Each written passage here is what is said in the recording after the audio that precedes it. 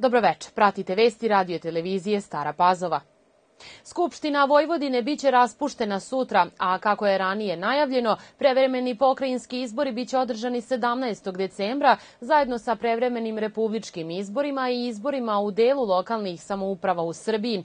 Sednica u četvrtak 16. novembra zakazana je sa jednom tačkom dnevnog reda. Predlog odluke o prevremenom prestanku mandata Skupštine Vojvodine objavljeno je na sajtu Skupštine autonomne pokrajine Vojvodine. U Baku su danas potpisani memorandum o razumevanju između resornih ministarstava Srbije i Azerbejdžana kojim se produbljuju odnosi u oblasti energetike i komercijalni ugovor između gasnih kompanija Sokar i Srbija Gas, što će omogućiti isporuke do 400 miliona kubnih metara gasa iz Azerbejdžana u Srbiju do kraja naredne godine. Ti sporazumi su potpisani tokom zvanične posete ministarke Dubravke Đedović-Handanović Baku. Dodala je da dve zemlje imaju stratešku saradnju, zahvaljujući prijateljskim odnosima i uzajamnom poštovanju dvojice predsednika Aleksandra Vučića i Ilhama Alijeva. Ministarstvo prosvete i Ministarstvo trgovine potpisali su danas protokol o međusobnoj saradnji u oblasti edukacije učenika osnovnih i srednjih škola o zaštiti potrošača.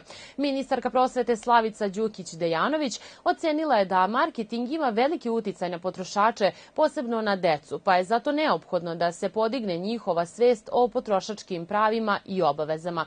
Kako kaže, upoznavanje učenika sa ovim temama sprovodit će se kroz dobro osmišljene aktivnosti na osnovu štampanih audio i video materijala.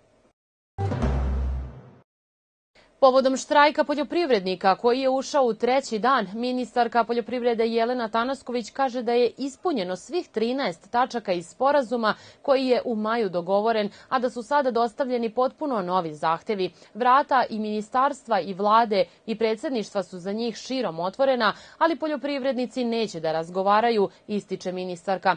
Ističe da je od 13 tačaka dogovora iz maja svih 13 ispunjeno, a da je u nedelju dobila nove zahteve. Navodi i da će subvencije za 2024. godinu iznositi 100 milijardi dinara koje će se rasporediti na 34 mere za poljoprivrednike. Pozvala je sva udruženja poljoprivrednika da iznesu predloge o raspodeli novca jer su sredstva namenjena upravo njima. Prevencija je najbitnija i ona je ključ. Moglo se čuti na današnjoj akciji koju je Dom zdravlja dr. Jovan Jovanović Zmaj organizovao povodom Svetskog dana borbe protiv dijabetesa. U prostorijama mesne zajednice u Vojki, lekarski tim Staropazovačkog doma zdravlja merio je svim zainteresovanim sugrađanima pritisak i šećer u krvi, ali i pružao stručne savete i korisne informacije, kao i smernice o ishrani i fizičkoj aktivnosti koje mogu pomoći u regulaciji šećera u krvi. Organizacija ovakvih i sličnih akcija je važna jer omogućava građanima da na jednostavan način provere svoje zdravstveno stanje i blagovremeno reaguju ukoliko primete bilo kakve nepravilnosti. Rano otkrivanje bolesti i pravilan tretman su ključni faktori u održavanju zdravlja. Inače, Svetski dan borbe protiv dijabetesa obeležava se svake godine 14. novembra. Dijabetes lekari definišu kao masovnu, nezaraznu bolest od koje boluje svaki deseti stanovnik u svetu. U Srbiji oko 800.000 osoba živi sa dijabetesom, od čega 30.000 ljudi ima tip A, pokazuju procene Instituta za javno zdravlje Srbije dr. Milan Jovanović Batut.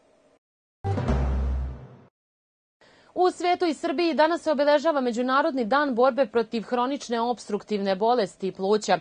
Prema podacima Svetske zdravstvene organizacije, od te bolesti boluje oko 50 miliona ljudi i svake godine umre skoro 3 miliona obolelih osoba, objavio je Gradski zavod za javno zdravlje Beograd. Iz Udruženja za astmu i hronične obstruktivne bolesti pluća kažu da se procenjuje da u Srbiji trenutno ima između 400.000 i 600.000 pacijenata. To je bolest koja se uglavnom javlja kao posledica dugogodišnjeg pušenja, navode u ovom udruženju, a veliki broj ljudi nije ni svestan da je već oboleo. Najbolji teniser sveta Novak Đoković izjavio je posle poraza u drugom kolu zelene grupe završnog turnira u Torinu da ga je Janik Siner zasluženo pobedio te da je u važnim trenucima meča Italijan odigrao najbolje.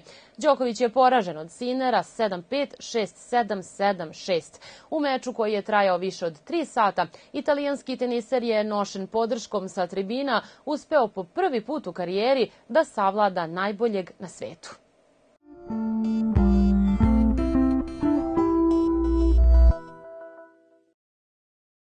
Vreme sutra umereno oblačno i suvo, vetar slab i umeren.